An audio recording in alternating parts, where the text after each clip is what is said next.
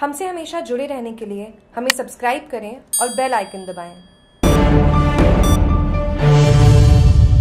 लापता हुई विवाहित का कुएँ में मिला शव, रेस्क्यू टीम की मदद से पुलिस ने शव निकलवाया बाहर। सादड़ी थाना क्षेत्र के मेघावलों का बड़ा बास से शनिवार रात बिना बताए घर छोड़ गई लापता विवाहित का रविवार दोपहर बाद पास ही स्थित एक कुएँ में शव पड़ा मिला, जिसे पुलिस ने इर्गिल रेस्क्यू टीम व ग्रामीणों के सहयोग से बाहर निकलवाकर शव अस्पताल की मोर्चरी में रखवाया। मृतिका के पति ने पुलिस को बताया, वो पिछले कुछ दिनों से मानसिक रूप से अस्वस्थ थी, जो शनिवार रात बिना बताए घर छोड़कर चली गई। पुलिस थाना अधिकारी सूरजाराम जाखड़ ने बताया कि मेघावलों का बड़ा बास निवासी नरसिंह राम मेघावल ने लिखित रिपोर्ट देकर बताया कि उसकी धर्मपत्नी लीला मेघावल उम्र 38 साल, शनिवार रात 12 बजे के बाद बिना बताए घर छोड़कर चली गई, जिसकी आसपास रिश्तेदार परिजनों में तलाश की गई, जिससे कोई भी सुराग नहीं मिला तभी दोपहर तीन बजे के करीब परशुराम बगीची, झुम्पा बस्ती, सड़क मार्ग, बेरा ढेड़ावा अरट के कुएँ में महिला के शव तैरता दिखाई देने की सूचना पर